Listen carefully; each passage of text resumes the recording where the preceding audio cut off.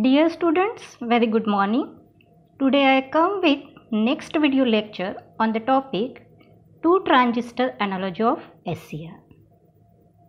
In this lecture I will cover the content number 1 overview of lecture 1 which is based on the static characteristics of SCR.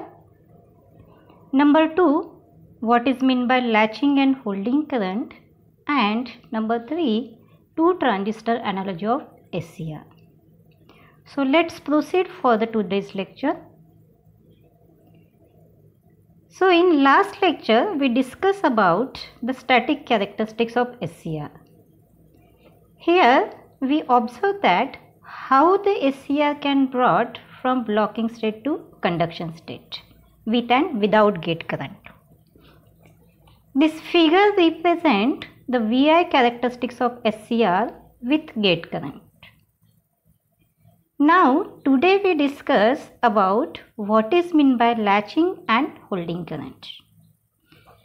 So first of all I tell you about the latching current. In figure latching current IL mark at the point from which anode current start increasing when SCR comes from blocking state to conduction state. So we are defining the latching current Latching current is the minimum value of anode current which is required to keep the SCR into on state at the time when SCR is turned on.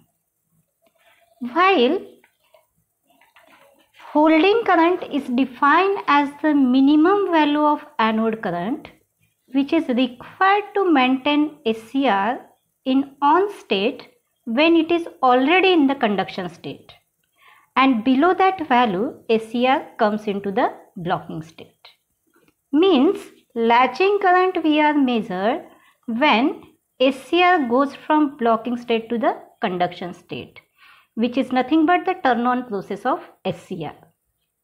While holding current can be measured when SCR already in the conduction state and it goes into the blocking state that is nothing but the turn on process of SCR and if you are measuring both the values you are getting holding current is always less than the latching current. Now goes to the next topic that is the two transistor analogy of SCR. This is the physical structure of SCR which is shown in the figure number 1 it consists of four layer of alternate PN-PN silicon semiconductor material which we are discussing in the first lecture. If we are connecting the upper three layers that is PNP, similarly the lower three layer that is the NPN like shown in the figure number 2 we get two transistor model of SCR. It has one PNP transistor and one NPN transistor. The base of PNP transistor is connected to the collector terminal of NPN transistor while the base of NPN transistor is connected to collector of PNP transistor. By connecting such configuration we get two transistor model of SCR which is shown in figure number 2. This figure 3 represents the circuit diagram of two transistor model. Here IE2 is the emitter current of transistor Q2 and it is equal to I that is nothing but the uh, anode current because emitter terminal is connected with the anode IB2 is the base current of transistor Q2 and it is equal to IC1. That is nothing that is the collector current of Q1. Since the base of Q2 and collector of Q1 are connected with each other. Similarly, if you are observe the IC2 is the combination of IG plus IB1. IG stand for gate current and IB1 is the base current of transistor Q1. and I1 is the emitter current of transistor Q1 and again it is equal to the anode current. Now from this circuit diagram we check by using this two transistor can we get the characteristics similar to that of the SCR. So first of all apply the forward voltage across the transistor structure similar to that of the SCR working. Means anode made positive with respect to cathode. If the voltage across the transistor structure is applied in forward direction, this voltage will be blocked by both the transistor because they are in cutoff state. And hence a very small leakage current which is nothing but the emitter current of both the transistor will start flowing and in the waveform it is shown in the forward blocking region. Now if the voltage is increased further, emitter current is also increases. However, up to particular voltage that is VFBO, both the transistors remain in cutoff state.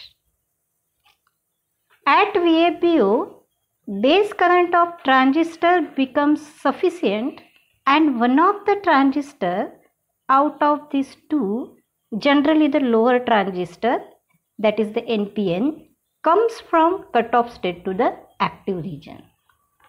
Why NPN transistor first comes to the active region? Because cutoff voltage of NPN transistor is less as compared to the PNP transistor.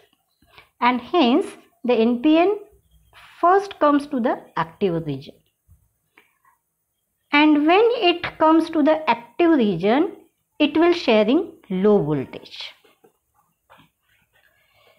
Because of this the it will increase the base current of lower transistor and since as per the transistor analogy of NPN transistor IC is equal to beta times IB means collector current of Q1 is further increases.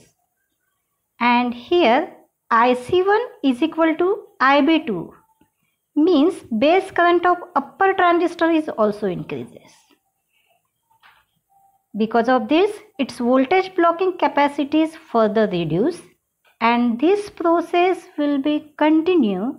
And finally both the transistors are comes into the saturation region. And never block any voltage further. When it will happens, there is a sudden rise of current start flowing through the circuit.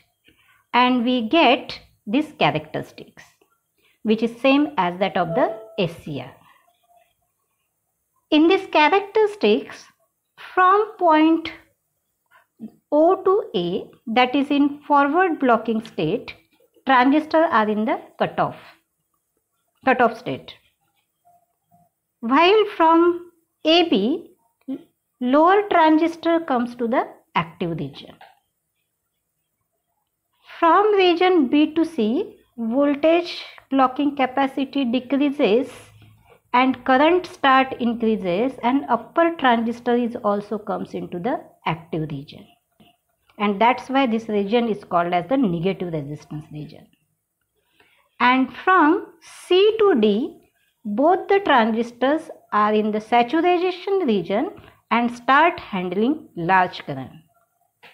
So, by using these two transistors, we form the SCR.